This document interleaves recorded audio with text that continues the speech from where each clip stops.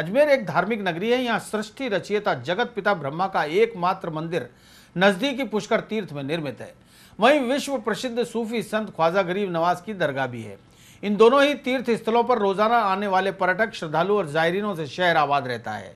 वहीं भीड़ के बीच संदिग्धों और आतंकियों से इस सांप्रदायिक सौहार्द की नगरी पर हर वक्त खतरा मंडराता रहता है। धार्मिक नगरी आतंकियों की शरण स्थली बन चुकी है, इसमें कोई दो राय नहीं। क्योंकि लश्कर तैयबा का कुख्यात आतंकी डेविड कोलोमन हेडली लंबे वक्त तक पुष्कर में फरारी काट चुका है। उसकी साजिश इसराइलियों के धर्मस्थल बैत खबात को उड़ाने की थी। वहीं अब इंडियन मुजाहिदीन के आतंकी के अजमेर से पकड़े जाने से यह बात साफ़ हो चुकी है कि धर्म और पर्यटन के हिसाब से महफूज अजमेर शहर आतंकियों का यार्ड बना हुआ है। बावजूद इसके शहर की सुरक्षा व्यवस्था ढुलमुल नज़र आ रही है। अजमेर से पकड़े गए कुख्यात आतंकी की खबर राजस्थान पुलिस को ना होना इसका सबूत है।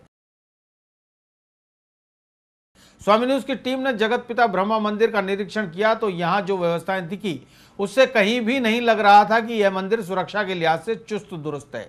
दिल्ली से आए श्रद्धालु शशि ने बताया कि मंदिर में मोबाइल और कैमरे पर प्रतिबंध की सूचनाएँ तो लगी हैं, लेकिन रोकने टोकने वाला कोई नहीं।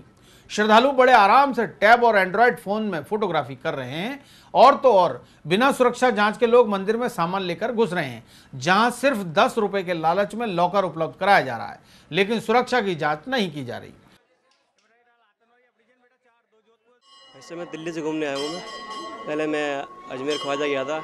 यहाँ पर आया तो पता लगा कि यहाँ पर मोबाइल मोबाइल नहीं लाने देते और क्या कहते हैं वो, कैमरा नहीं लाने देते।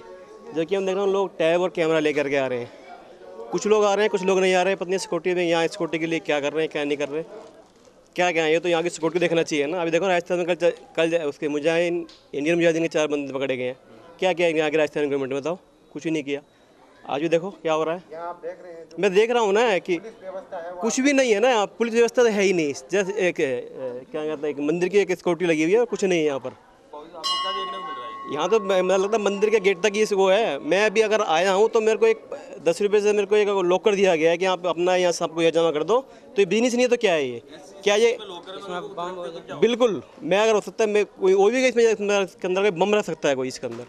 पर क्या कौन, यहाँ कोई कुछ नहीं है सिक्योरिटी पुलिस चाहती है तो उसको गेट पर रख सकती रख सकती मैं अंदर आया हूँ, मेरे को कुछ चेक ही नहीं किया। और भी लोग यहाँ चेक नहीं, जो कि लोग टैब लेकर आए हैं। मोबाइल कैमरा अलाउ नहीं है। टैब अलावा जो कि इतना बड़ा टैब है, लोग दिख सकता है वो। कोई सिक्योरिटी नहीं है। पर राम भरोसे चल रहा राजस्थान, दिल्ली हमारा और ये भारत ही। पर राम भरोसे चल रहा राजस्थान, दिल्ली हमारा और ये भारत ही। साल 2008 में पुष्कर के सभी धार्मिक स्थलों के आसपास व्यावसायिक गतिविधियों पर रोक लगाने के आदेश अदालत दे चुकी है। लेकिन मंदिर के महंत सोमपुरी कहते हैं कि मंदिर परिसर में व्यावसायिक गतिविधियाँ अभी कोई नई शुरू नहीं हुई है। बरसों से ये मंदिर के किराएदार हैं। सोमपुरी से जब मंदिर की सुरक्षा पर सवाल किया तो सोमपुरी ने कहा कि ब्रह्मा मंदिर में आठ प्राइवेट गार्ड हैं और चार पुलिस गार्ड तैनात कर रखे हैं। जो मंदिर की सुरक्षा के लिए पर्याप्त हैं। मंदिर में लगे पाँच सीसीटीवी कैमरे बंद पड़े मिले। सुरक्षा पहरी भी तंबाकू चबाते टाइम पास करते ही नज़र आए।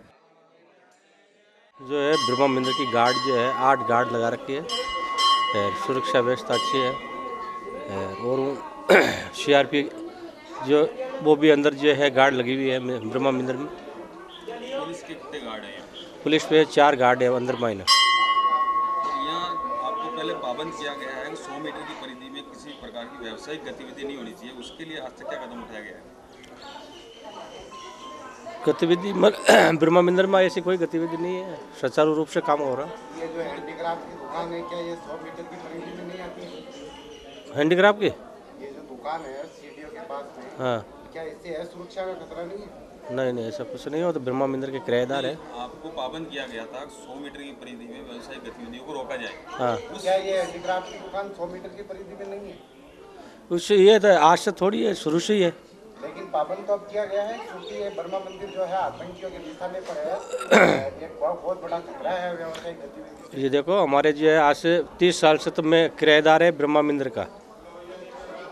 ब्रह्मा मंदिर का किराएदार है ऐसी कोई मतलब जो है व्यवस्था नहीं है जो मतलब जिससे की दृष्टि से इसको हटाने के लिए आपको पाबंद किया था क्या क्या कार्रवाई किया आपने? हमारे को कोई पाबंद नहीं किया गया इसको हटाने के लिए नहीं किसी किराएदार को हमारे को कोई ऐसी सूचना है कि भाई इनको किसी को हटाया जाए या किसी को किया जाए।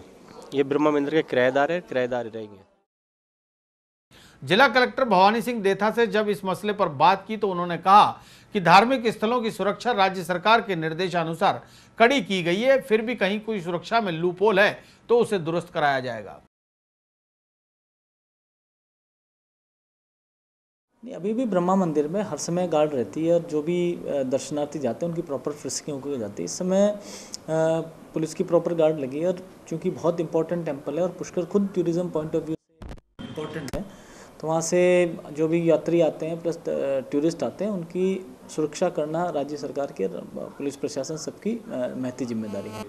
इसको जो आपने कहा, इसकी रिपोर्ट्स वगैरह हम दिखवाते हैं और फिर क्या हो सकता है इट एग्जामिन सर, जिस तरह से एक आतंकी, पहले भी आतंकी घटना अजमेर झेल चुका है, लगातार टेररिस्ट मूवमेंट रहे हैं, कर्नाटक का एक टेररिस्ट को किया गया था। ओवरऑल ज़िले को देखा जाए तो किस तरह से व्यवस्थाओं को आगे अगले महीने उर्स भी आने वाला है? नहीं, इसमें उर्स प्रशासन से भी हमारी बात हुई। कल गवर्नमेंट इंडिया के जॉइंट सेक्रेटरी साहब आए थे उनसे भी डिस्कशन हुआ है। एसपी साहब से हम कंटिन्यूस टच में है प्लस इंटेलिजेंस है चाहे स्टेट इंटेलिजेंस है सेंट्रल इंटेलिजेंस है ऑलमोस्ट हर दूसरे तीसरे दिन उनसे बात होती है। और जो परसों एक पकड़ा गया ये वाकई एक अनुकरणीय उपलब्धि है। और उर्स में पूरा ध्यान रखा जाए जो सीसीटीवी कैमरे हैं प्लस उसके साथ साथ जो सिक्योरिटी व्यवस्था रहती है, पूरी चाक चौबंद रहने की पूरी पूरी व्यवस्था की जाएगी।